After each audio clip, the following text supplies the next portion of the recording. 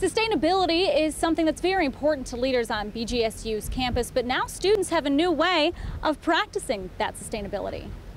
It's a, a symbol of a sustainability culture. The work to get this charging station here started back in November.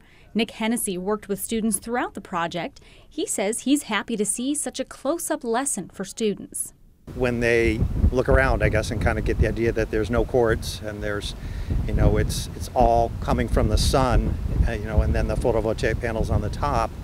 Hopefully, anyway, there's a learning experience. Hennessy says the solar energy harnessed here can charge between 75 and 150 devices per day. In the long run, it's not much.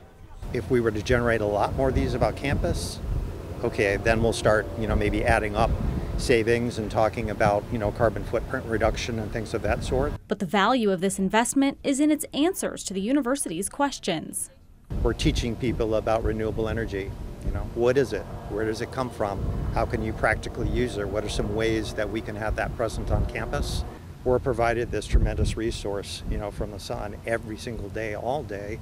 It's the first of its kind on campus, and some students say they'd like to see more the creation of this solar table is a demonstration of our commitment to uh, protect the environment and to be a public university for the public good.